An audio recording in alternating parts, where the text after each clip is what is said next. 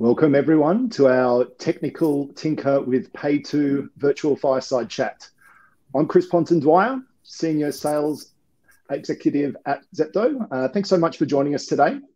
Uh, I'm hosting today's webinar from my home in the Sutherland Shire in Sydney, and I'd like to start by acknowledging the Dharawal people, who are the traditional custodians of the lands within the Sutherland Shire, uh, and pay my respects to elders and their families past, present, and emerging. Uh, and I'd like to extend that acknowledgement to the various lands everyone is joining us from today. This is now our fifth installment of our Zepto Connect webinar series, and we've had some fascinating conversations that have ranged from the future of the Australian tech scene the consumer data right, and of course, PayTo. You can check out all of our webinars and other great content on our newly formed YouTube page, which will be shared in the chat over the course of today's conversation. Now, speaking of chat, there's a bit of housekeeping. Uh, these webinars really rely on the success. The success relies on the audience interaction. And so you're going to see two functions on the right-hand side, a chat, which is a messaging icon, where you can post general comments in the chat and have a conversation amongst the audience members. There's also beneath that a Q&A box. Now, if you want to ask questions of the panel, you can post your questions in that Q&A box. I'll be monitoring that during the course of today's conversation. I'll try to get through as many as I can, now you can also upvote specific questions that someone else has posted, which you, if you want to get answered by the panel, it'll push it up to the top of the list for me to read. So when you're ready, start populating with your questions. Now, before we get into the conversation, we always just like to give a bit of a status update on uh, where availability in the market is at with PayTo. So since our last webinar, which was a month ago, uh, it hasn't been a lot of movement, but there were some big announcements at the last one. So we shared that all four major banks are now live with PayTo in the retail market. And that's 91% of consumer accounts now have PayTo available as a payment method. So really have reached that tipping point uh, of ubiquity. Now, on a business account perspective, availability remains at around 15%, uh, but currently tracking upwards over the next 12 months. And another use case and update I wanted to, to touch on, which we have announced since our last webinar, was an exciting partnership with Ozedi. Now, if you don't know who Ozedi is, they play a critical role in the superannuation industry, delivering a digital data exchange service that connects a company's payroll to superannuation funds nationally. That's done via SuperStream, which is the government's legislated messaging service to provide super contribution information between businesses and super funds.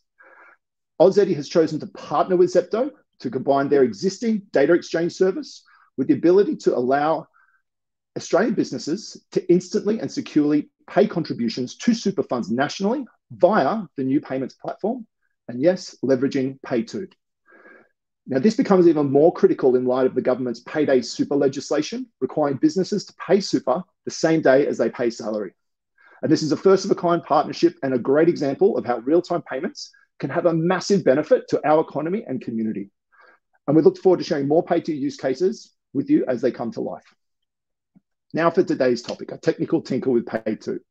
So why this topic, why today? Well, during recent Zepto Connect webinars, we received a number of technical questions about PayTo. And we took a poll uh, of attendees at the last session, asking them to vote on the topic they wanted to hear about most. And technical deep dive was by far and away the most popular topic.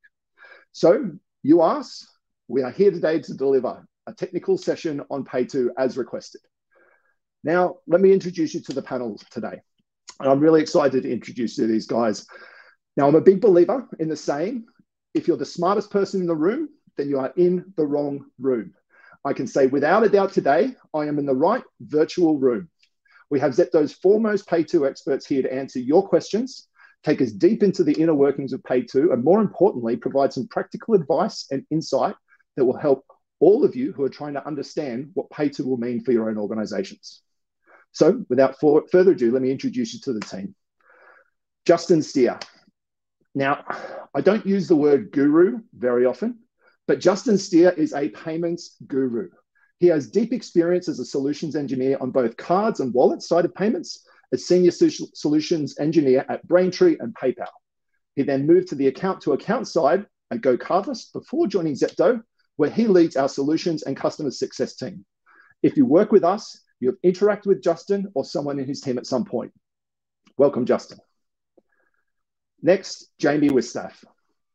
Now, you may all be asking, Zepto, why do we need to have a webinar on the technical side of PayTo when your online PayTo Help Center answers all our questions in a clear and concise manner? Well, this is your chance to hear from the person who built our PayTo Help Center, Jaimie. She is our Senior Solutions Engineer and was recently awarded Zepto's Rising Star Award for her work across PayTo. She has played a key role in buddy testing with the banks, a part of their go live, and is working with a range of our clients to support their PayTo implementation. Welcome, Jaimie. Now, last but certainly not least, Tom Campbell, Zepto's PayTo product manager. From day one, Tom has been central to our PayTo product strategy. He represents Zepto on the AP Plus PayTo user forum, driving collaboration as an industry leader to further the PayTo cause. Tom spends his days deep in thought on how we can optimize PayTo to solve customer problems. And when I asked Tom what topics he wanted me to ask him during this conversation, he said, Chris, there's two things I can talk about PayTo and Porsche motor cars. Today we'll focus on the former. Welcome, Tom. So I might get you to all come off mute. And I thought I'd throw out a warm up question just to get uh, the juices flowing today. Um, I want you all to give me three words that come to mind when you describe PayTo. Now, because our title of today's webinar does such a good job of alliteration, Technical Tinker of PayTo, you will get bonus points if you can alliterate your response. I'm going to hand to Justin three words that describe PayTo. Fast, new, revolutionary. Awesome. Love it. I'm going to pass to Jaimie next. Oh no, you stole two of my words. I was going to say fast, new, and easy. Fast, new, and easy. I'll accept that answer. Tom Campbell. Yeah, um, that's a lot of words uh, burn through, isn't it? Um, I think I was also going to say fast, uh, but I think um, yeah, visible, quick, and modern um, are uh, the three I'd go with. Awesome. I think they are all very relevant words in describing PayTo. Not a lot of alliteration there. I was looking for digitizing direct debit as a key one in the alliteration stakes, but let's uh, move on with the conversation. So, what I might do is get us to bring up the slide pack. Uh, and when we're talking about technology, it's really important to start with the customer experience in mind, uh, and you know talk about what are the use cases that we're trying to serve with this new, new piece of capability. Um, so while that slide pack is coming up, what I wanted to start, how I want to do this, I'll run through at a high level what the use case is, all right? And then Jaimie, what I'll get you to do is talk through what's happening under the hood. So we'll go to the next slide. Okay, so I wanted to start out pretty simple and straightforward with just a simple e-commerce one-off purchase. Now, if we start on the left, that's a, a screenshot of a standard ecom uh, checkout where I'm selecting my payment method. In this instance, we're selecting PayTo.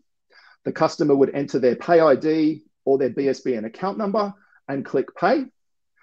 What happens then is they receive a push notification in their mobile banking app, which has the agreement for them to authorize that payment. At the same time, in real time, we are getting back in that online checkout a confirmation of the payment and the order is successful. And then in that last screenshot on the right in number four, that is the reporting updating in real time that funds have been received in the account. Okay, pretty straightforward.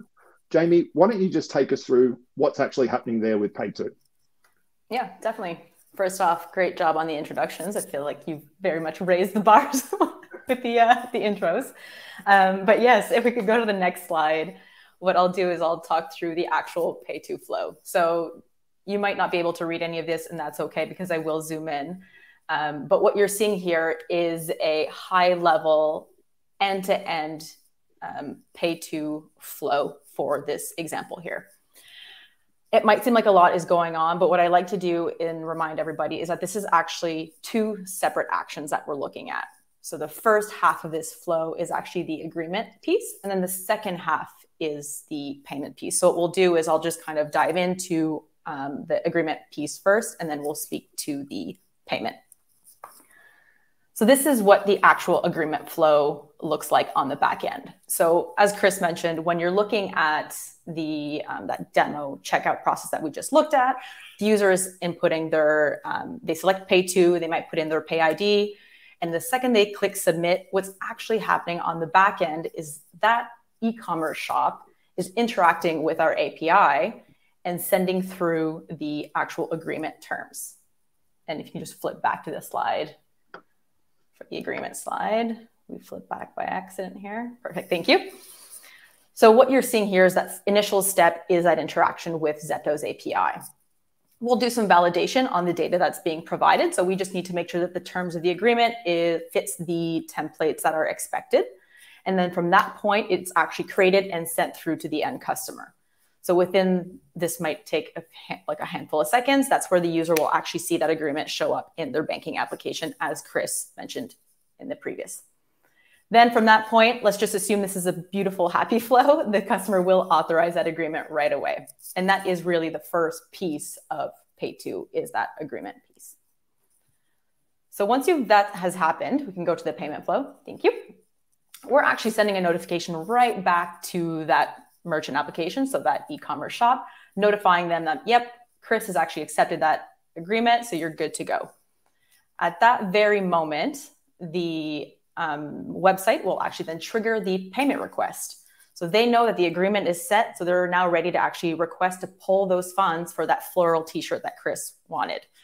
So at that point, again, um, we will verify that that information matches the terms of the agreement. So this is a quick example of that. If the t-shirt was or chris accepted that the t-shirt was going to be worth $55 and that's what he authorized in his banking app. If for some reason something happens and the website now wants to pull $65 we're actually going to stop that right there because that is not what chris agreed to. Chris only wanted to spend $55 on that t-shirt so assuming that passes again this is all happens in real time so i might be taking a little bit of time to talk here but um, the funds are actually debited from Chris's account, assuming he has that $55 in his account, and are immediately credited to the merchant's nominated account. And then that's the end. So those two pieces, the agreement and the payment, all make up that entire flow that we saw in that first screen and line up with this single purchase. So really from that moment that user puts in their information and they click checkout, everything starts to happen. And then the second they also authorize that agreement, everything happens in real time. And those screens between the number two and number three happen in real time and within seconds. Amazing. Okay, that's really great. So there's a there's an agreement portion happening and then the payment portion and all of that is Correct. Happening in real time okay yep. so look that's a, that's a pretty simple straightforward use case um, maybe let's flick to the next slide, let's talk about what a recurring wow. payment is, right? Because I think we've got a lot of um, organizations attending today where, you know, customer um, loyalty is key, return visits mm-hmm. or frequency of payment is built into their proposition. Um, so in this instance, you know, the example is a subscription service. Right, if I start on the, the left side again, we've got someone signing up to a subscription, electing to pay with PayTo, just as before. Um, they click submit payment. Uh, that notification comes through. Uh, in three, we can see the details of the mandate request, that the, the agreement request that they are authorizing. And mm-hmm. then in step four, we've got the recurring payment that is being taken out each month. And that final page is around the automatic reconciliation and um, uh, settlement of funds in real time. So, can you talk us through what the difference is here um, between what we saw in that first use case and what happens in a recurring flow. Yeah, definitely. One thing I just want to point out as well is you might hear both um, the term agreement and mandate be used. Those can be used interchangeably. They are the same thing in this in the case of PayTo. Um, but definitely, so really what um, how everything works again going back to the idea that you have two pieces right you have the agreement and then you have the payment so, in an example of a recurring payment, it really comes down to what you put into that actual agreement itself. So, for the first example, we were looking at something as an example that was a fixed price. It would only be debited once, and you might even add a certain expiry date to that, whether it's you know the following business day as an example. So, really, that agreement in the first scenario was very strict. It was one time, that's it. Once the payment is done, it can't be used again. For something like a recurring payment, you can actually add um, certain terms or select certain types. Um, as an example, usage based. So my energy bill on a monthly basis might vary depending on how much I'm using um, my energy in the house or my apartment.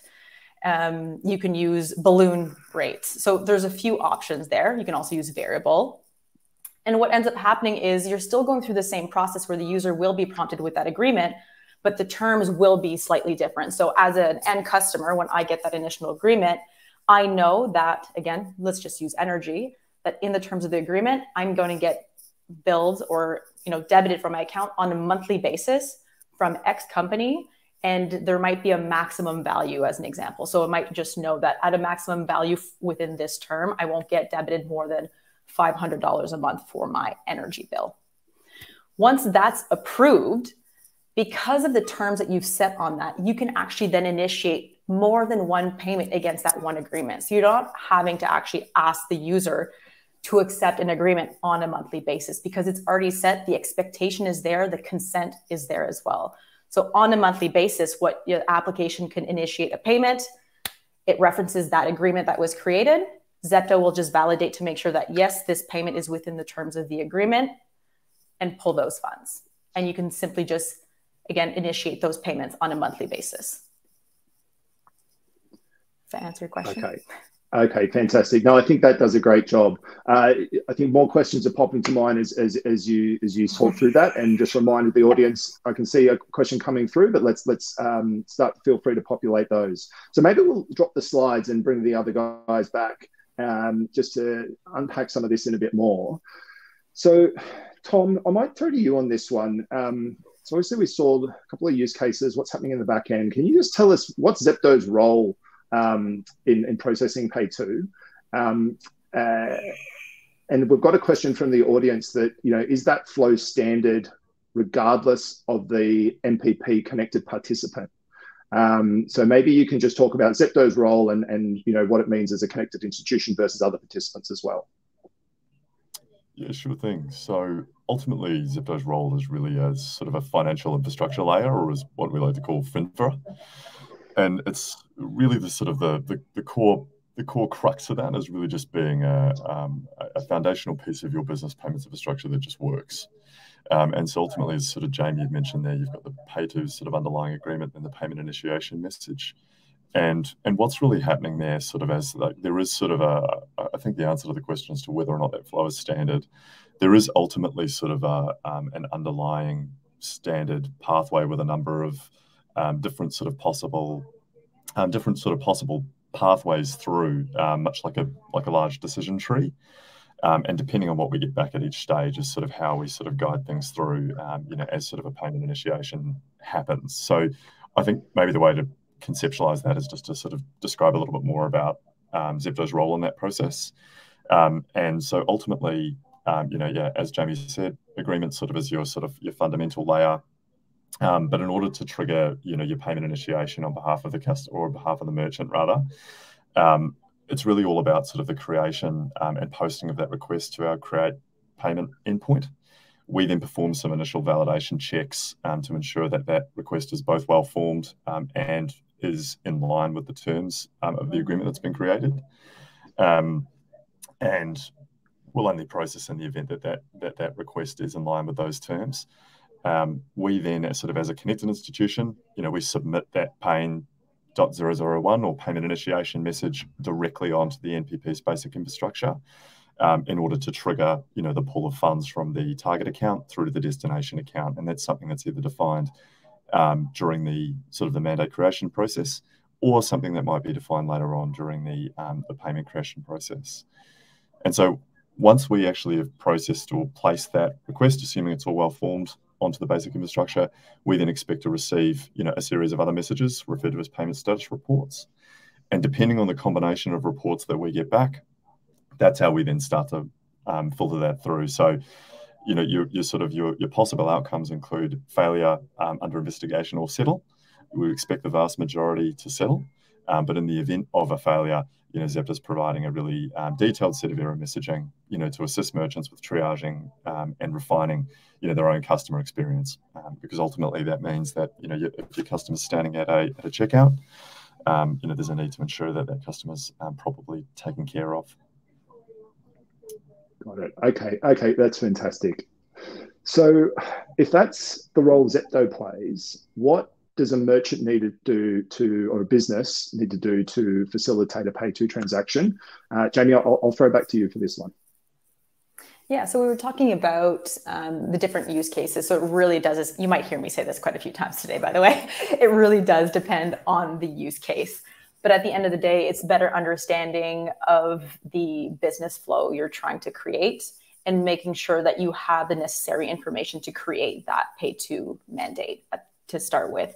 So if it is a one-off versus a recurring, you might need to have different information. And then also once that's actually created and once you're starting to interact with the Zepto API, we will also then provide information back. Um, it's unique identifiers based on the agreement. What uh, might be a unique identifier for the payment as well. So it's also certain data that you a merchant might want to be uh, wants to be ready to actually ingest and store in whatever way they see fit within their business process. So again, depending if they have their own account system or they want users to be able to log in and see their data, then they might want to store a little bit more as well. Um, but it's just all things to keep in mind as they um, as they're looking to onboard or to use PayTo is how they're planning on using it and yeah, how creative they want to get with it. Okay, all right. So I'm, I'm hearing uh, data being mentioned as, as being important, right? Uh, and obviously fundamental mm-hmm. to what Zepto's role is, is part of that messaging to the NPP infrastructure. Um, Justin, let's hear from you. Can you please maybe talk to, you know, we talk a lot about the benefit of data within the NPP. Um, you know, can you talk about the role of data in the payment flow for, for PayTo? And, and, you know, how can uh, this benefit both the end customer and, and the merchant maybe? Yeah, definitely. So I think there's you know a couple of different aspects that, that certainly come into play when we talk about data with regards to PayTo and or NPP in general. Um, some of them which Jaimie and Tom just sort of alluded to. So I think you know on the customer side, PayTo provides I guess a number of data points that you know a elicit consumer trust and confidence in you know not just the merchant that they're engaging with, but also the underlying payment mechanic. Um, you know the way I look at it is you know if you look at a traditional direct debit via BECS flow where you're providing a BSB and account number, you're agreeing to your DDR, DDRSA, maybe you're receiving a PDF copy of that agreement or service you're entering into, which if you're anything like me, you'll ignore and it'll get lost in your email inbox. And then 30 days later, you see a charge in your bank statement where the description is limited to a character set that doesn't give you a, a great deal of information about that transaction at all. Um, so with PayTo, that, that customer is afforded the you know, agreement information on hand within their banking environment, which details the payment terms that Jaimie spoke about. So things like, you know, how frequently am I going to be debited? What amount am I going to be debited? Um, as well as a descriptive piece of information around the mandate that's been set up with regards to who the merchant is, what this agreement is for, you know, how it relates to the merchant that they've interacted with in the past. Um, subsequent to that, you know, and any changes to that agreement, um, you know, if suddenly the price of my gym membership has gone up by $10 a month, there's an amendment which gets sent through via the merchant. In that case, I'd need to authorize it. So I explicitly know that, yes, okay, my, my payments are going up by, by 10 bucks a month. Um, so yeah, it's a really well thought out flow for that, that end customer. Um, on the merchant side, there's, I guess, also a, a number of benefits compared to perhaps other payment methods out there. So again, on the agreement front, merchants or organizations are receiving that real-time messaging around any change in status of an agreement. Um, so you know, typically you'd have to wait for a payment message to go through um, to indicate that an agreement, you know, has been cancelled, the bank account's been closed, anything along those sort of lines. Um, with PayTo, we are giving you that information back in real time. So if I, as a customer, decide that, you know, I have terminated my gym membership. I've informed the gym, but for whatever reason, they haven't cancelled my my payment arrangement. I can jump into my my banking application, cancel that agreement. The gym then you know is then informed that okay, cool, Justin has cancelled that agreement. Um, payments are never going to be successful against this cancelled mandate now. Um, for payments themselves, and, and Tom sort of touched on this just prior, I guess as you know, there is an extensive list of reason codes that can be returned in the event of any error or failure um, that really give you a granular look into why a payment failed, whether it's retriable or not, um, and allowing you to be, I guess, then determine the most appropriate course of action for your customer moving forward. Um, so yeah, I guess uh, overall the level of data around PayTo is beneficial to you know both the payer customer and the merchant, um, and I think you know really enables the best experience for both parties. Amazing. That's um yeah, obviously very powerful, and really that visibility on the transaction, I suppose, is is and, and granular visibility is is a key point of difference and value for PayTo. Um, I might just flick to some of the questions. We've got lots of questions coming in, so thank you very much, everyone. So I'll, I'll start with a, a, potentially an easy one. Um, is mobile banking app the only way for a customer to authorize a payment agreement? Uh, Tom, I might throw to you. You're on mute. Yeah, of course. Um, so, look, short answer is no. Um, essentially, what is happening at the moment is a rollout of PayTo across multiple channels um, out in the ecosystem. So that includes mobile applications, desktop applications, so on and so forth for agreement management. I think that said, um, it is a rollout, so it means that at the moment um, the you know most dominant channel is mobile, um, but as time goes by, you can expect to see other channels starting to come online um, and um, and a bit more information out in market about specifically what's available and when. Um, and so, you know, we can uh, we can always make some time to chat about specifically which uh, which channels are, are currently online. Um, but I think, yeah, that's sort of also coloured with um, the sort of the availability of retail accounts. You know, most of it, most of those channels are going to be sort of mobile in a retail context, um, and you know, we'd expect to see uh, some of the more business banking portals um, in the des- desktop context starting to come online um, as sort of business bank accounts are, uh, are made sort of all PayTo enabled over the next 12 months. Um, but yeah, good question. Yeah, so it's really obviously PayTo is a, a digital solution and it's primarily going to be um, available via digital channels. Is that fair to say? Yeah, one hundred percent. Um, that's that's largely what we'd expect to see. Yeah. Okay. Okay. Awesome. Um, so I'll keep going. Let me just have a look. So uh, we've talked a lot about some of the messaging back and forth between a, a merchant and um, regarding PayTo status. Question um, is, do banks offer merchants webhooks for payment confirmation via PayTo, or is that the issue solved by Zepto as middleware? Um, Justin, I might hear from you on this one. Yeah, so the webhook messages that you get or could get will be from Zepto. The banks specifically are not sending out webhook events to direct merchants themselves. Um, so we, you know, I guess elicit that that event service on our side. So when we hear back um, the appropriate responses from the creditor bank, uh, we will then return that information back to your merchant application by form of webhook. Alternatively, you can pull our API to get the most up to date um, message available. Okay, great. So that that comes from us. Um, okay, uh, I'll keep going because there's lots of great questions here. Um, what does real time actually mean? And how do the banks handle this real time payment? Um, Jaimie, is that something you, you want to comment on? Yeah, I can always comment on this, and then somebody else can jump in.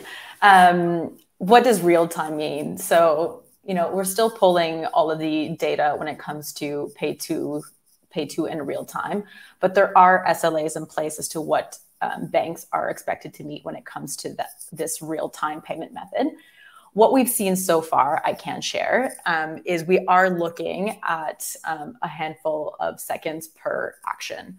So if we're looking at initiating an agreement, you know, that might take anywhere between, I want to say three and eight seconds. Eight has been really the slower end when it comes to an agreement. Um, and then there's the period of time, of course, where it requires a user to accept, which we don't have, you know, control over. And then the payment, same thing, just a couple seconds. So we're seeing really that debit of funds and credit of funds within a handful of seconds. It's very, very quick. I don't know if Justin or Tom has any additional feedback on that. Yeah, I, I think all we'd add is that, you know, I think, you know, as this sort of PayTo product in this market, and we're able to do sort of sort of more and more performance testing. Um, you know, we're sort of reviewing and calculating our sort of P50, P95, P99 to get an understanding of you know sort of where that sort of where those payments sort of fall. Um, but largely the data at this point, um, you know, sort of early on in the piece, um, you know, and as we sort of continue to optimize, we expect it to hopefully um, increase in speed. But yeah, we're sort of looking at a, you know a handful of seconds, um, which early doors is great. Okay, and, and just another question in a similar vein, uh, more on the clearing of funds. So, how long it's taking now for the debtor bank to clear the funds on receiving a request to pay message, um, just to understand the scale of real time. I don't know if we have the, the data specifically. Justin, is that something we have available right now for the just the clearing? Um, I similar to Tom's point, it's something we are yeah going uh, sort of collating. I think you know when it comes to the actual flow, it, it's all sort of handled in that one action, right? So if mm-hmm. we initiate that pain 001 message, you know, there's a, a a payment and clearance message sent between the debtor bank and the creditor bank, and then reference to Jaimie's point earlier around the SLAs that are in place. They they apply to both debtor and creditor bank. So we do mm-hmm. expect clearance and settlement process to be handled within that 31 second SLA. Okay, fantastic. Um, I'll keep going with some of the questions because they, they, they, are piling up, which is awesome. Um, so, uh, who is the actor or end user of the reporting funds settled at the end of the flow? So, Jaimie, do you want to maybe cover that one off? So, when we went through the use cases, this one was asked a bit earlier on. Um, there's that yep. reporting funds. Uh, who mm-hmm. is the actor or end user there? So who would be handling that would be the actual merchant application. So we have all of that data readily available. All of that can be pulled via our API but um, it really comes down to the merchant and what information they do want to pull and how they want to do their own reporting. So they can create really their own custom workflow with what works with their current business process rather than trying to retrofit our process within theirs. So really, it's full full options out there. Okay. Okay. Awesome. Um, look, I, I suppose a, a, lot of people on the, on this uh, webinar are probably, you know, really thinking about what does PayTo mean for our organization. Um, so can maybe someone talk to the, um, the, integration experience? You know, what does it take to get your business live with PayTo? Um, Jaimie, I, I, might stay with you. Um, mm-hmm. Can you please just you know, talk about the integration process?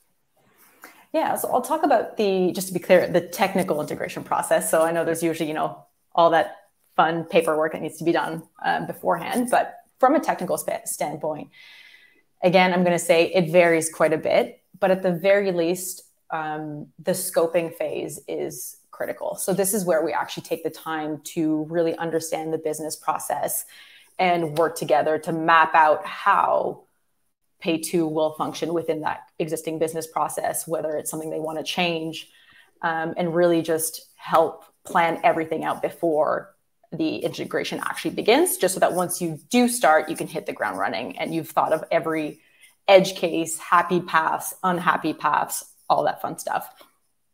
And then once that um, scoping phase is complete, which again could take one session, you know, like it could take a few weeks depending on the complexity and the business scenario.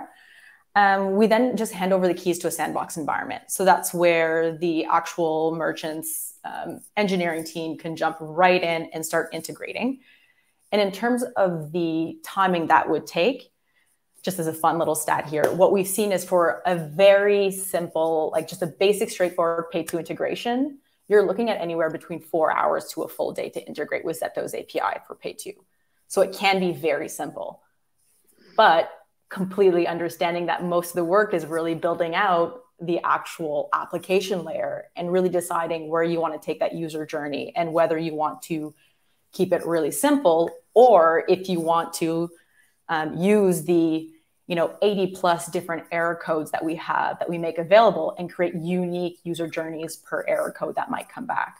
So that's where it really opens things up in terms of the integration piece as to how long it might take but at its simplest simplest state you'd still be looking at about a day to under a day's worth of work and then plus depending on the customization and the business process that you want to go with Okay, interesting. So you kind of talked about unhappy paths and some of the error codes. Can you maybe talk? One of the questions from the audience um, is what are the most common unhappy paths um, that you're experiencing? Maybe you want to keep or, going. And, um, yeah, I can, I can. If not, I'll just mute myself and. but yeah, I can give a few examples, and Tom or Justin, feel free to jump in. But um, the most common unhappy pass that we're seeing is whether their user's bank, uh, the bank account selected, is PayTo enabled. So, as an example, I could accidentally put in my mortgage bank account, and of course, you know that's going to be rejected. Um, and the second biggest one is insufficient funds. So depending on the user flow, if you're automatically, let's just say it is a recurring payment and my energy bill again is coming out at the end of the month and I completely forgot, it is put, put oh my God, it is possible that there will be insufficient funds. So that is still, I would say, the two most common unhappy paths that we're seeing at the moment. Okay, fantastic. Anything else to add, Justin or, or Tom, on that? Otherwise, I can move to the next question. No, I think I think that sort of covers it. I think you know, as to date, you know, we've, we've just had the, the final of the big four banks come online. And so that initial um, error that we're seeing around PayTo banks not being enabled, you know, theoretically, we hope to see that that drop. Um, but yeah, up, up, to this point, it's probably the most common mm-hmm. on the agreement okay, side. Great. Look, I might just jump back to audience because there's one that's been voted up quite a bit. Um, and I think uh, Tom or Justin, there might be from one of you guys. So I'll read it out. Do we know from the bank side where PayTo debit sits on the sequencing of debit timing? So, for example, $100 in a user's account, there is a $100 direct debit scheduled and a $100 PayTo debit initiated. Who gets the funds? And would this be different bank by bank?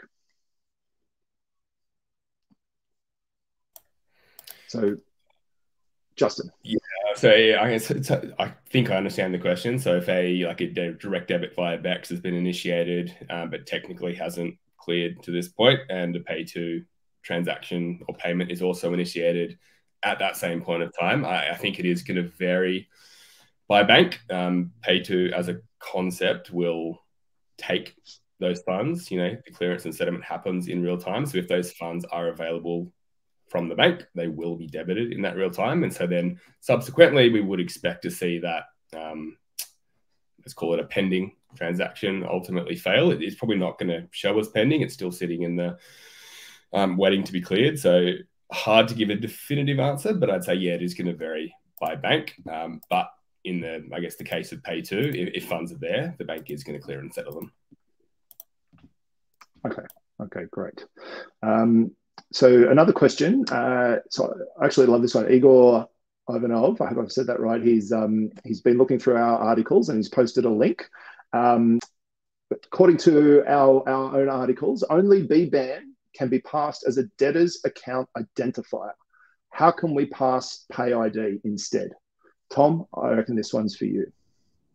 Yeah, 100%. No, thanks for the question, Igor. I think um, so at the moment, that's correct. Um, as at today, only a BBAN can be passed as a PayTo account identifier.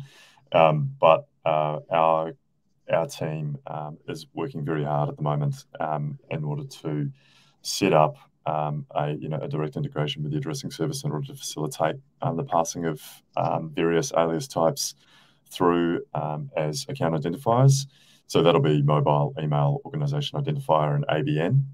Um, and we would expect um, you know that to be uh, live in the product um, by the end of the quarter.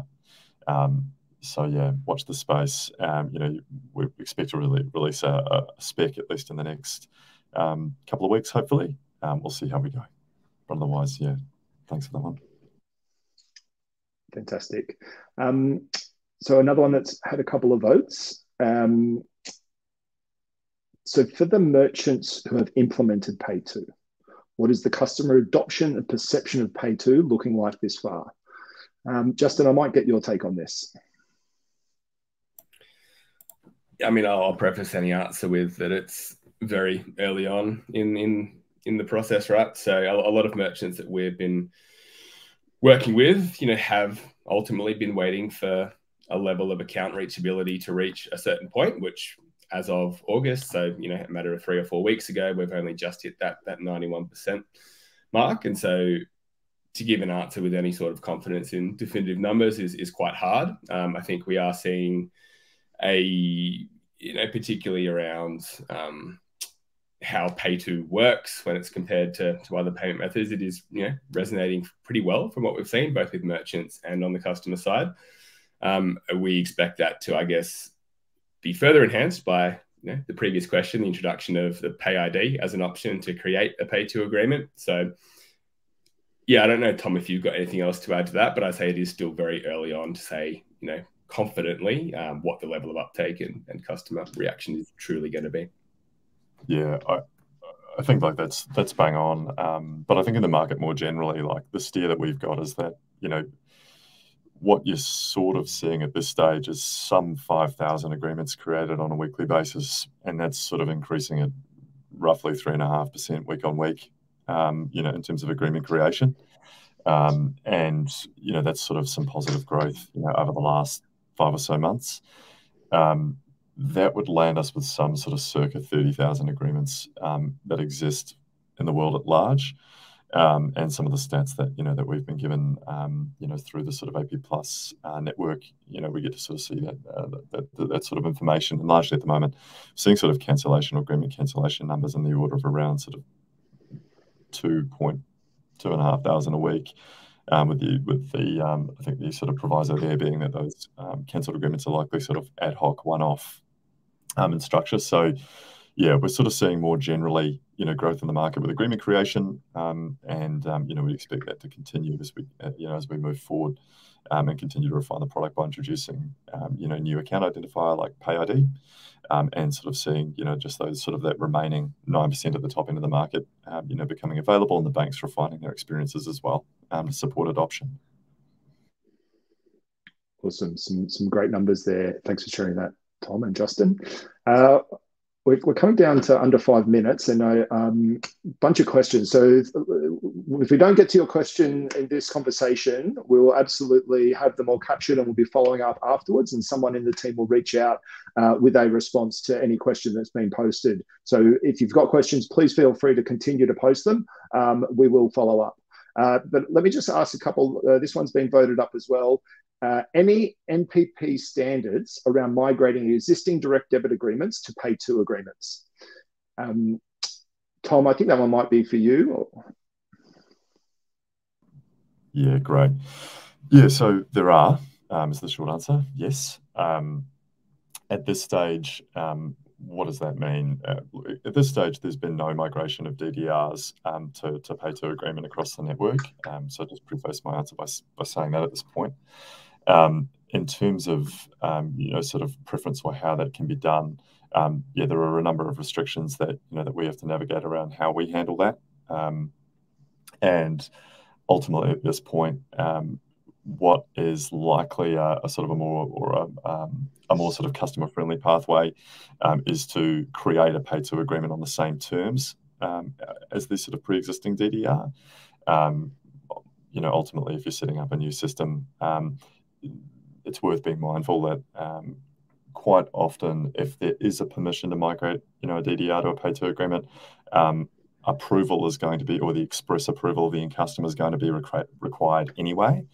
Um, and also, um, yeah, just very conscious as well of um, not creating situations where you can double debit. So, yeah, long story short, yes, there are restrictions. Um, and um, and ultimately there's sort of that um, that move to sort of balance the movement of sort of one mind system to another, um, and um, you would be keen to find out more about you know about your specific use case and what it is that you you know you're thinking there in terms of migration. Um, but yeah, I might stop there with that one. I think it's still sort of a, a developing sort of a space. Okay, awesome. Thanks for that. So we're into the final minute. I did just want to ask one last question of, of the panel. Um, so in less than 30 seconds, uh, what's one piece of advice you would want everyone to, to leave with today on this call when thinking about a PayTo uh, implementation? Um, Jaimie, do you want to kick us off? yeah, I'll say start now. So it's early enough days that you actually have time to work with your customers and understand the user experience and make tweaks before the volumes really pick up. So that would be my biggest recommendation is really start now while the volume is still picking up so that you can really customize that flow. So by the time it's up there, then you are already a pro in it. Awesome. Start now. I love it. Um, yep. Tom, anything from you?